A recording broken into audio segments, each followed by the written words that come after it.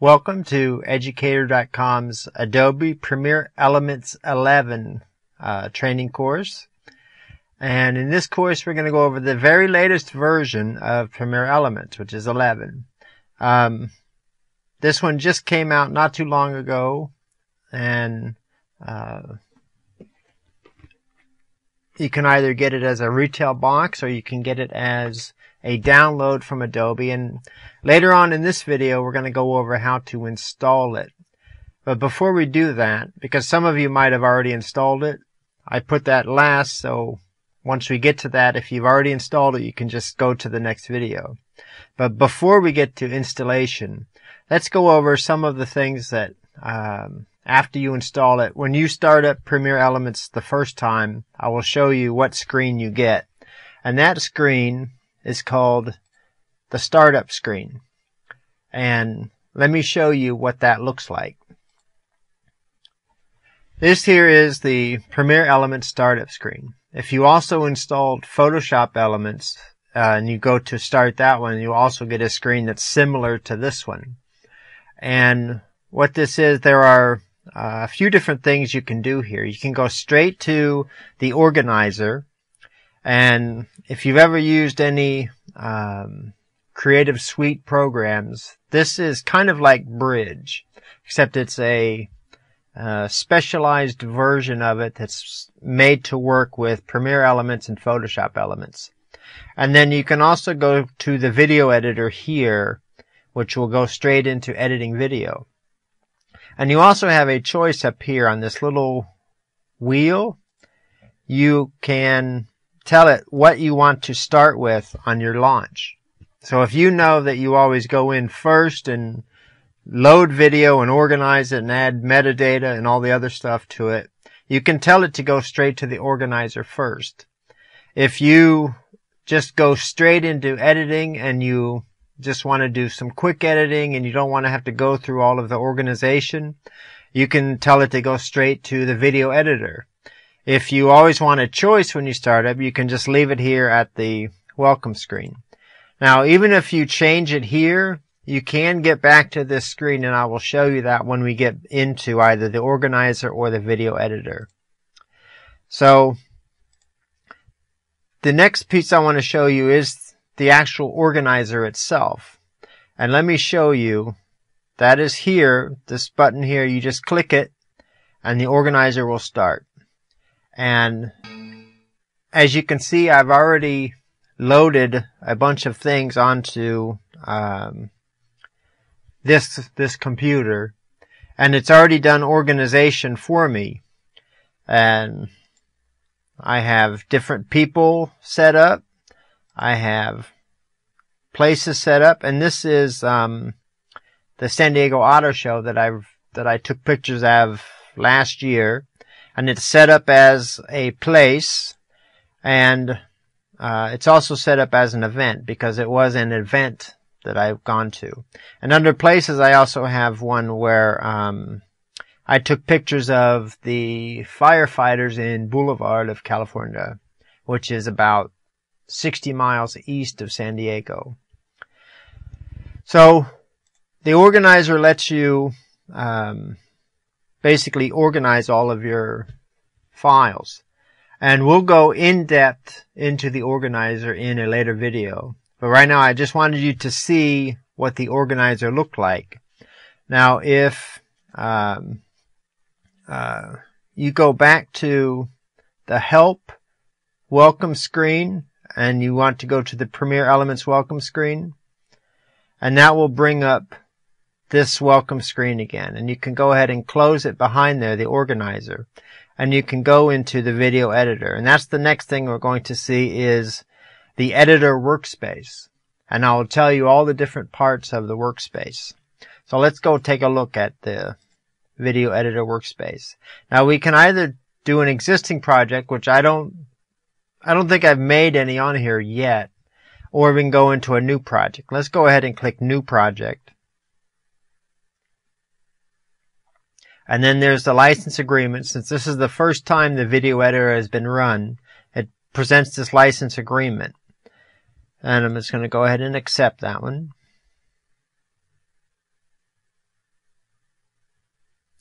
And then it also has a thing that lets you help improve the uh, the products. So if you're using this and an error comes up, it will send anonymous data to Adobe to help them improve the product. And I've always participated in it. I've never had any uh, anything happen that would cause me to not participate in it. And then it goes ahead and asks you all the different things that you um, about your job and all the other stuff. I'm just going to click done on that one. Since it's not really necessary, but it does help them um, know who's using the program and what they're using it for. But it doesn't it doesn't like send your name or your address or anything like that. It just sends, hey, this guy is an architect and he uses it this way. So now we have the the main screen of Premiere Elements up. And there's several different parts to this screen. We have the the menus up at the top, just like every other program. We have the name of the current project here. And then there's a button here to that you can click to save it. And then uh, if you want to play your video full screen, you can click this and it will play the video full screen so you can see what it looks like full screen. And you won't have any of the other elements here distracting you. The main section here is your video uh, monitor and right in the middle. And there's two different modes that you can use while you're in Premiere Elements 11. And you can go back and forth between them pretty easily. And that's quick, which has a single timeline. Um, it has a single uh, uh, video track on the timeline, video and audio track. It has one title track right above it. It has one narration track and then one audio track for like background music. But the expert view has, and let me just, if you bring your pointer right to the middle on the screen and you click and pull up, you can expose the rest of the tracks that are here. And you notice you have an audio track and a video track, number one, an audio and video track number two, and an audio and video track number three. And you can actually, if you right click and choose add tracks, you can add up to 99 tracks of audio and video to this. In, on quick mode, you only have one track one audio video track and that's it. And this is mainly for if you want to uh, bring files in quickly, cut out scenes, put some transitions and then export it. And you don't need multiple layers, multiple uh, layer tracks. You can just put them here all in a row. If you have everything just in a row and output it right away and it's quick, easy, and simple.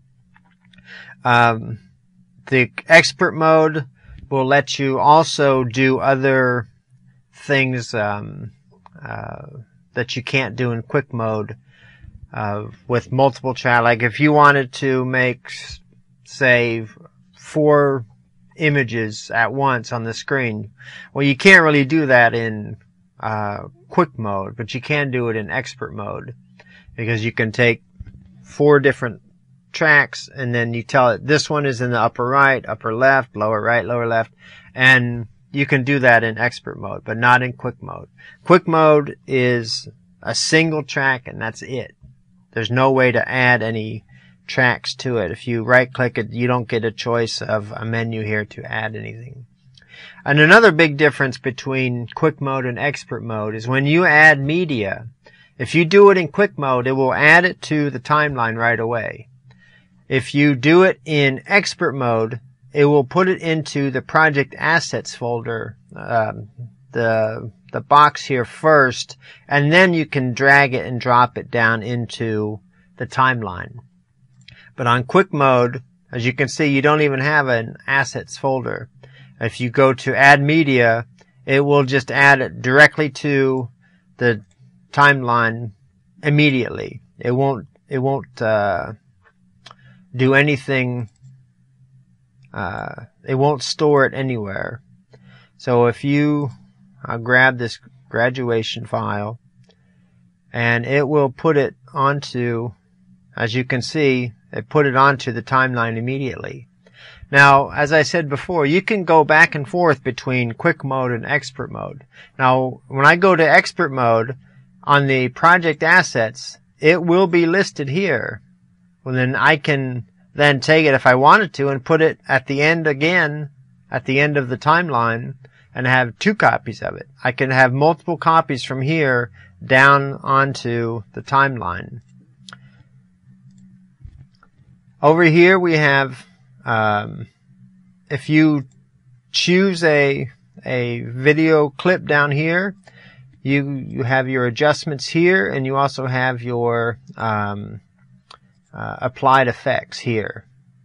So again, the quick mode it has a subset of things that you can do, and the expert mode has a much higher uh, amount of things that you can do for for your um, video clips, and that also uh, works with the with the uh, bar down here. And this bar down here is called the action bar. And what that is, since um, I don't have anything that I can redo. I only have an undo here, but I also have a redo. So if I do something and I undo it, I can redo it again. And it's just a single click down here to undo and it'll keep undoing and then keep redoing depending on how many steps you want to go forward or backward. And then there's a button here to go straight to the organizer again. Um, there's an instant movie uh, that I will show you later on how you can use Instant Movie to uh, give it a bunch of clips that will make a movie for you, and um, you don't have it's no muss, no fuss. You tell it to make it, and it does it automatically. Under the Tools menu, uh, you have a, a, bunch of different things that you can do for uh, your video editing. Uh, you have your adjustments, which is what this menu is up here. You have an audio mixer, which lets you mix your audio on the um, uh, change the volume and and you know mess around with the way that the audio is mixed together. Um, if I go to uh, quick mode, you can see that it doesn't even have the audio mixer on there. It's only on expert mode. And you also have freeze frame, which lets you pick a frame to freeze. You can set a duration. Uh, you can edit it in Photoshop Elements if you want. You can export it. You can insert it into movie. So whatever you choose here for five seconds, you put insert into movie, it'll put a five second freeze frame in there. You have a movie menu, which is used when you want to make a disc. If you want to make a disc that you can give to somebody, it will let you uh, make the menu for the disc. You can add a narration track, which on this one is right down here. You have a narration track that you can um, put on there, and you can just record it directly into while while the video is playing. You can record it directly in the program. And we'll go over that later also. Pan and zoom are for mostly for still images like the Ken Burns style of video editing where you'll see a picture and it slowly moves across and then another one fades in and it moves different directions. Smart Mix will mix your uh, background music and your foreground uh, sounds and give you uh, it figures out like if you hear somebody talking, it'll lower the background music. When they stop, it'll bring it back up. They start talking again, it'll go back down. That's what the Smart Mix does. The Smart Trim will go through your video and figure out the pieces that are blurry, shaky, things that you probably don't want in your video, and it will give you a choice of if you want to delete them or not. And we'll go over that also. Uh, time remapping and time stretch, you can uh, speed up and slow down your video for special effects. So if you have somebody running and then you want, as they pass the camera, you want it to slow down when they wave and then after they pass, it goes back up to normal speed. You can do that too. And we'll have a, a video that goes over that also. On the transitions, um, again, I'm taking the pointer and bringing it right up to the top and clicking and dragging it up. And you can see in expert mode, we have all these different types of transitions. Uh, there's, it looks like eight, 16 different um, types of transitions, and each of these has uh, transitions in them, several transitions in them. Uh, this is on expert mode. If we go to quick mode and we look at transitions, again, I'm just going to click and drag this up. You notice we have 16 transitions. And the reason why we have 16 is because these are the main 16 transitions that people use. Um, they went through and figured out from previous editions and that that that box that uh, we went over of them helping us to improve our product. Well, they look and see. A lot of people use the cross dissolve. A lot of people use the flip over. A lot of people use the page peel. So they went through and they figured out the top 16 and that's what they have for quick mode. So it just makes it quicker to choose one of these for your video editing. On the expert mode on titles and text, it's the same type of thing. We have uh, several different uh, types of titles and text. And on the quick mode, we have we have oh it looks like we have all of them um a, a little thing here this little blue uh, notation here that tells you that it is not on your computer and when the first time you use it it will go online and download it and let you um, uh, it basically lets you install the program faster because it hasn't installed all of this stuff on there to begin with. So if you, if you only have a few of these that you use, it will only use up the space of the few that you use instead of using up all of the space that, uh, you have on your, on your computer. Because they use up quite a bit of space. Because there's multiple titles and there's also, uh, graphics and all this stuff that um, it only loads it if you need it. And once you need it, it will save it on your computer so you don't have to download it again, but it won't do it until you actually use something. So it's kind of an on-demand type thing, but it doesn't cost anything. It, all these are included in the program. They just don't install them by default.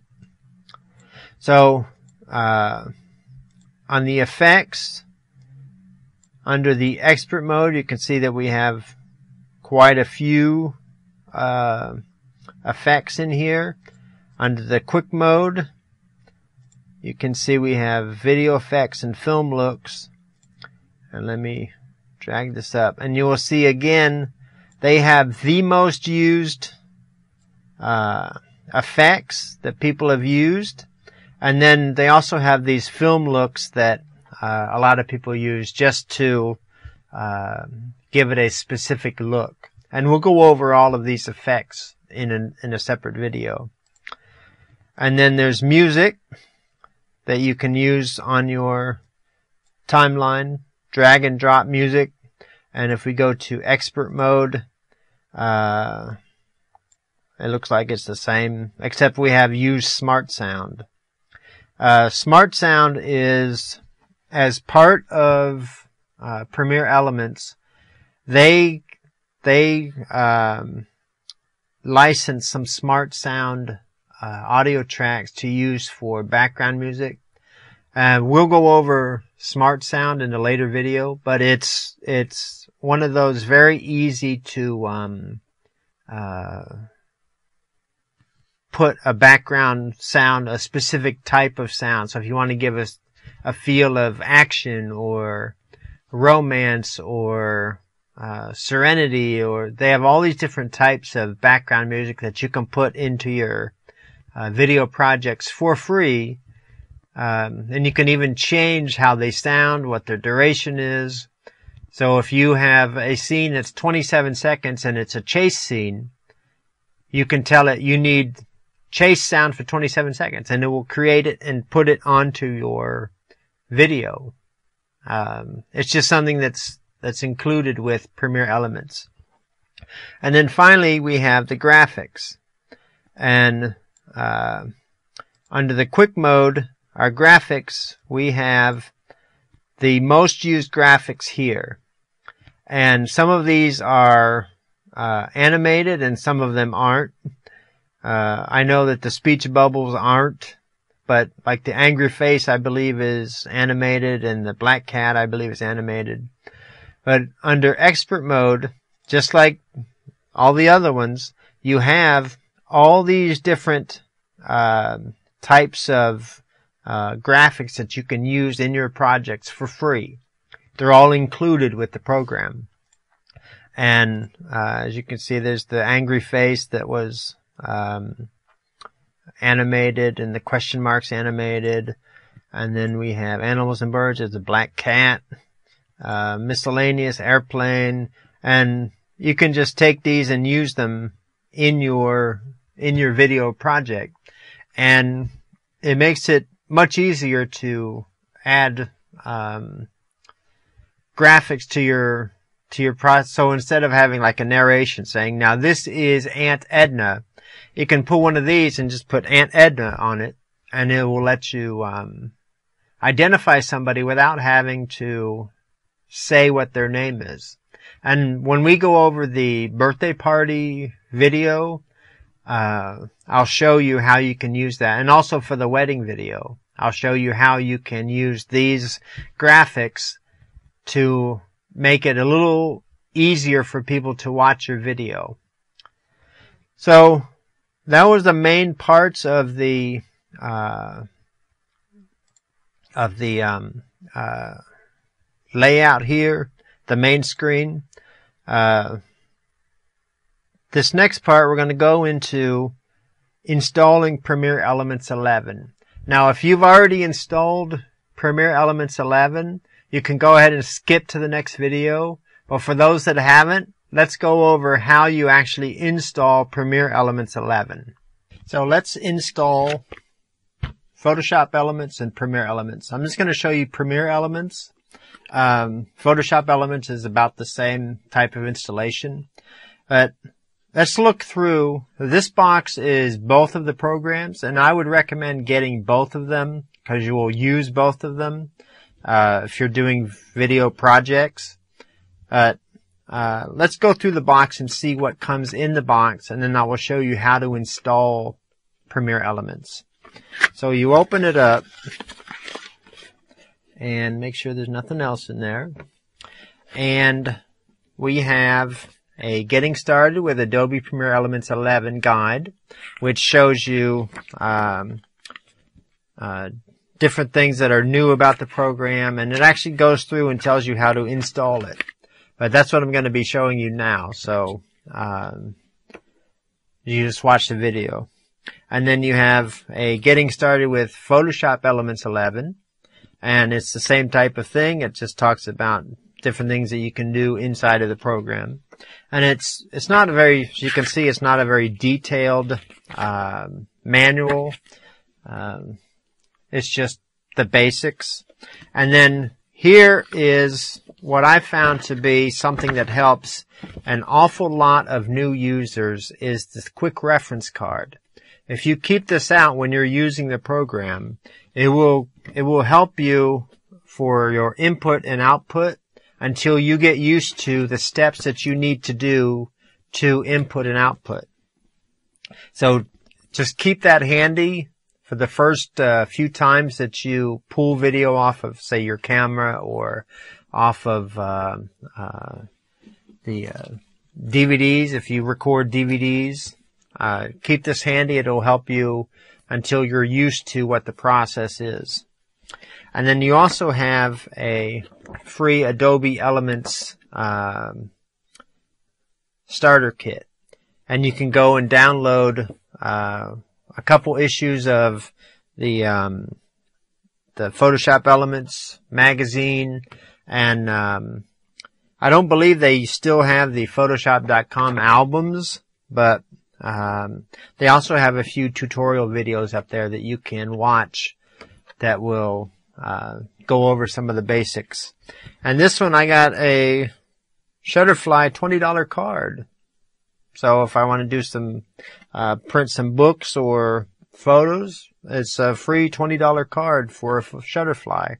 And this one is good until December 15th of this year, 2013. So, uh, that's pretty nice considering that, um, I, I got this whole program on Amazon for, I believe, $89 and minus $20 from Shutterfly. I don't have to pay. That's $69 for Premiere Elements and Photoshop Elements. It's a pretty, pretty good deal. Uh, this is just a sleeve that goes over the, um, uh, box, and at the bottom of the box you have two serial numbers that you can use, one for Photoshop Elements and one for Premiere Elements that will let you install the program. I'm gonna just be showing you the trial installation because um, I have it installed on another part of this computer and I don't need to install it uh, with the serial numbers. But once you open that, there are two disks in here. And you have a Mac OS disk and a Windows OS disk. Now this is different from the previous versions of these of these two programs. Before you had um, a, a disk for the Mac operating system then you had a disk for the Windows 32-bit operating system, and then a disk for the Windows 64-bit operating system. And then you had a couple extra disks which were the extra content that came with the program. Now, as you can see, they simplified it a lot. And when we talked about the um, the downloadable content, that's why they have it. So there's only one disk for Mac or one disk for Windows, and that's it. There's no extra disks that you have to load in at, to start with. So let me go through and um, uh, let me open this uh, drive here and we'll put this is a Windows machine so we'll use the Windows disk and it wouldn't hurt to make a backup of this disk just make a regular copy like you'd copy anything else. That way, if something happens to this disk, you have another uh, copy of it. Now, you can also, if you downloaded the file from Adobe, you can go download the um, uh, trial version of the software from Adobe. You'll have to have an Adobe account, which is just you give them your email and you make a password, and then you can download the trial version. And uh, so if something happens to your disk, if you have that, then you can um, go ahead and uh, download that and install the program here, so you don't have to worry about um, uh, being able to install it. And after you install it, um, if you then uh, if you then um, uh, give your serial number the number here to Adobe, they can keep it on record. So a year from now, if you lose all this stuff and you don't know where this is and where this is, you can just go download the trial version of the software, get the serial number that you registered with them, and you can install it on your machine um, pretty easily. Now, as you can see, it didn't uh, auto start here. So let me go ahead and I'll hit the Windows R key to do run. And then I will browse over to our DVD drive. And it doesn't seem to see the drive. Let me, let me find out why it's not, um, maybe if I pull it out and then bring it back in.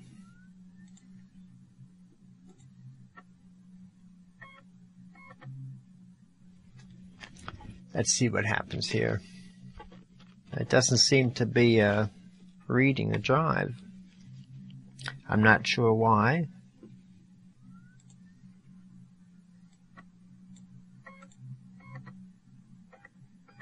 Ah, here we go. So now we have the autoplay. This is, this is the program that you want to run. And normally it will just come up with a box and ask you to, if you want to run the autoplay, that's what you want to run. So I'll double click that and then click OK. And it'll give me the user account control. So if you're doing this on a, a regular user account and not the administrator account, you'll need to enter the password here. But since this is an administrator account, I'll just click yes.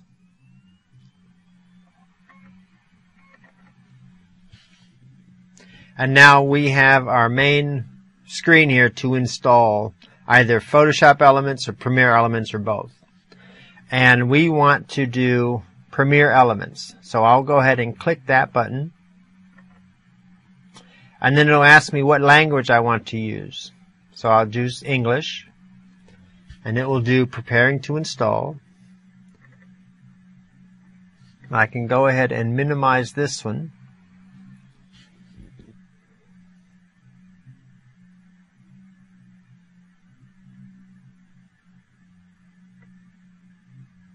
Just be just a second here. It'll come up with the, the main installation program.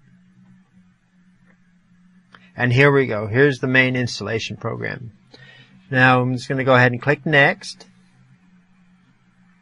And it's going to ask me uh, what language I want to see the license agreement in. Now, people have asked me can I install this on more than one computer? And actually, yeah, you can. You can install it on up to two computers. And let me show you the section where it talks about that. Um, I believe it's 2.1 point something or other.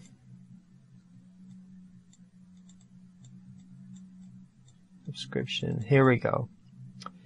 Portable or home computer use. And it says you may install a second copy of the software for your exclusive use on either a portable computer or another computer located in your home.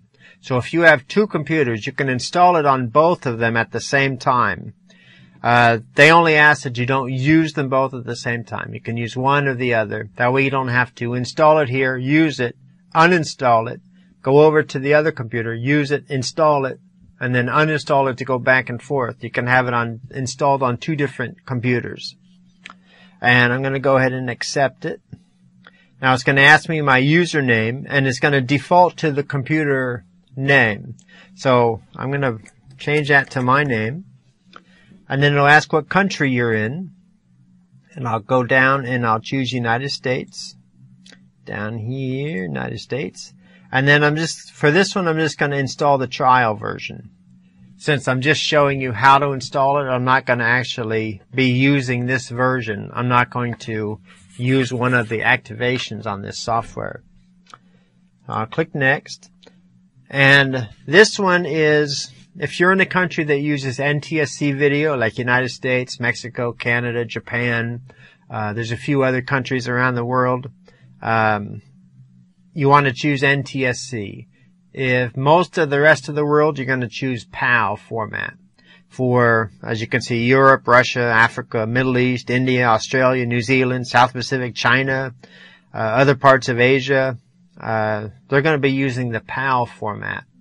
So just choose whichever version, and it's depending on what you chose on the previous screen of where you are, it will make a selection here.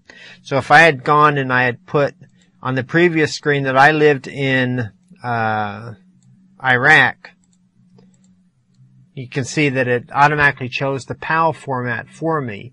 So depending on where you tell it you are, it will choose the format that's most appropriate. But since I'm in the United States and not in Iraq, uh, I'll go ahead and choose United States and you can see it defaulted to NTSC, which is what we want. And then I'll click next it's going to ask you where you want to install it on your hard drive. And it's, there's really no reason to change this. Um, it's just, uh, uh, the default is perfectly fine. And as you can see, since it doesn't say x86 after program files, uh, this is a 64-bit program. So if you have a 32-bit version of Windows, um, it's not going to install on your system. You have to have a 64-bit version. And if you have more than 4 gigabytes of RAM on your computer, you automatically have a 64-bit version of Windows because the 32-bit version uh, can't access more than 4 gigabytes of RAM. So, and if you're if you're not sure what type of system you have, you can always come down to the start menu, go up to computer, right click on it and choose properties.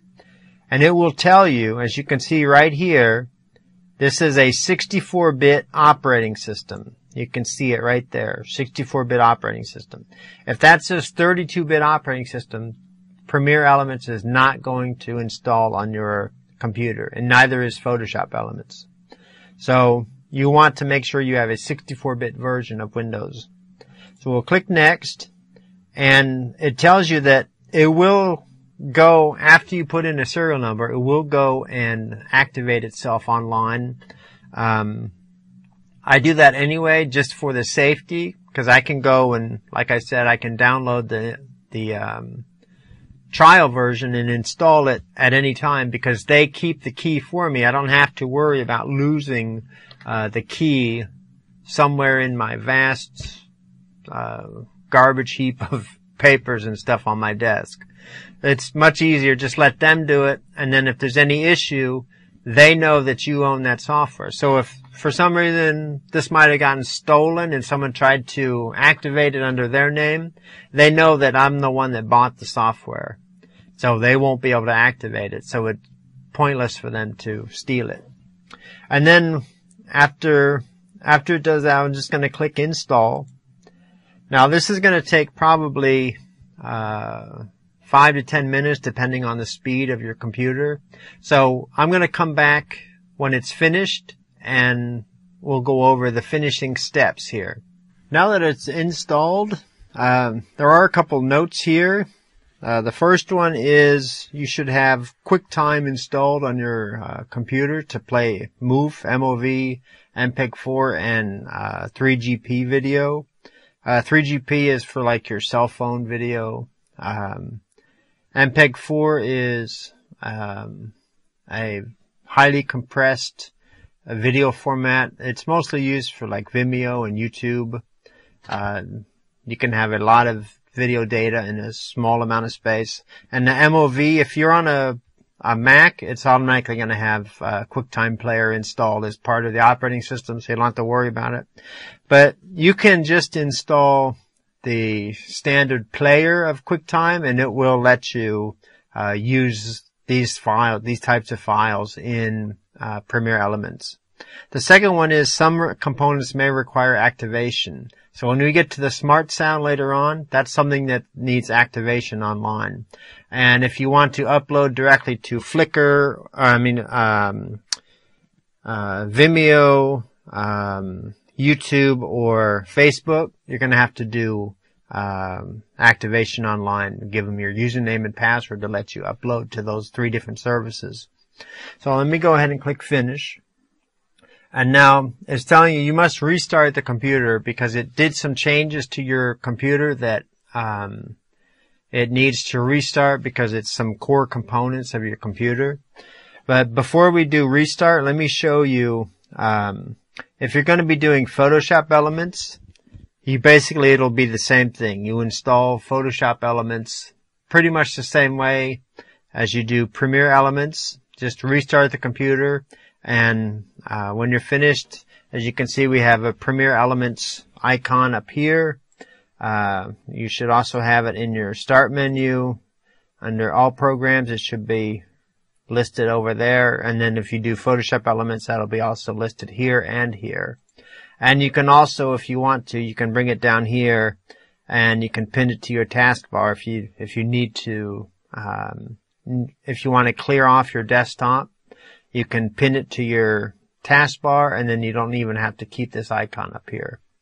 So, uh, I'll go ahead and restart the computer and hopefully I'll see you here on the next video on educator.com's Adobe Premiere Elements 11 training course. Thank you.